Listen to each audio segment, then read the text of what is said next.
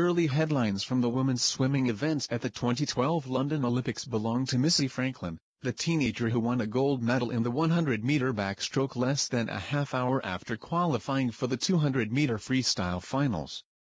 However, Franklin's second gold medal will have to wait. While Franklin has already won a gold medal, another U.S. women's swimmer will be looking for her first ever gold when she hits the water in the 200m freestyle finals.